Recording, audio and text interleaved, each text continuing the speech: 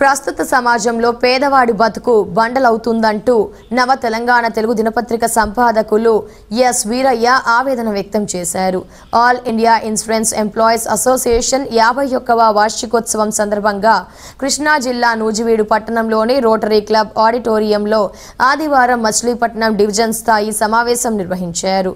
ఈ సమావేశంలో ముఖ్య అతిథిగా పాల్గొన్న నవ తెలంగాణ దినపత్రిక సంపాదకులు ఎస్ వీరయ్య మాట్లాడుతూ ప్రపంచ దేశాలలో అతి తక్కువగా ఉన్న పెట్రోల్ ధరలు భారతదేశంలో మాత్రమే అత్యధికంగా ఉన్నాయని చెప్పారు. నరేంద్ర మోదీ నాయకత్వంలోనే భారత సర్కార్ ఏర్పడిన తర్వాత మత కలహాలు పెరిగాయన్నారు.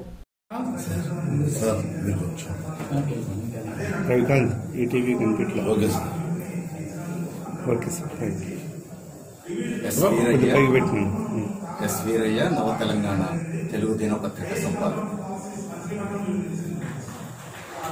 ఈరోజు దేశం ఆర్థిక వ్యవస్థ మందగమనంలో ఉన్నది.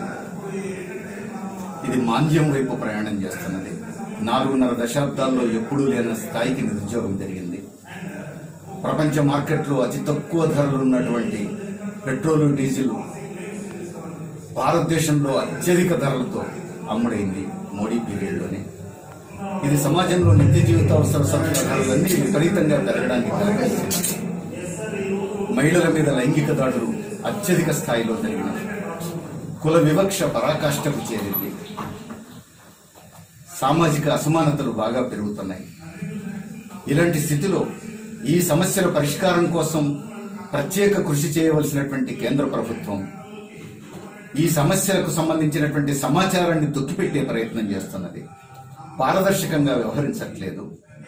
పైగా ప్రజల్లో అసంతృప్తి పెరిగితే అణచివేసే దిశకు పోతున్నది. రాజ్యాంగంలో స్వతంత్రంగా పనిచేయాల్సిన వ్యవస్థను తన గుప్పిట్లోకి తీసుకుని నిరంకుశ పోకడల వైపు పోతున్నది. Insurance Corporation Employees Union Machilipatnam division యాభై ఒక మహాసభల్ని ఎస్ వీరయ్య గారు నవ తెలంగాణ ఎడిటర్ ఆయన ప్రారంభోత్సవం చేశారు. అలాగే ఈరోజు ఐసీయూ మచిలీపట్నం ఒక పురాతనమైనటువంటి ట్రేడ్ యూనియన్. భారతదేశంలోనేటువంటి ఒక పురాతనమైన ట్రేడ్ యూనియన్గా అనేక యాక్టివిటీల్లో బాసిల్తా ఉన్నటువంటి యూనియన్. దేశంలోనే ఈరోజు అనేక అంశాల పట్ల ఎల్ఐసి ఉద్యోగులు చేసే పోరాటాల పట్ల అంకితభావంతో ముందున్నటువంటి యూనియన్. ఈరోజు అలాంటి యూనియన్ తాలూకు రెండు జిల్లాల సంబంధించినటువంటి మహాసభ ఇక్కడ జరుగుతోంది జరుగుతూ ఉంది ప్రయత్నం కూడా జరుగుతూ ఉంటుంది.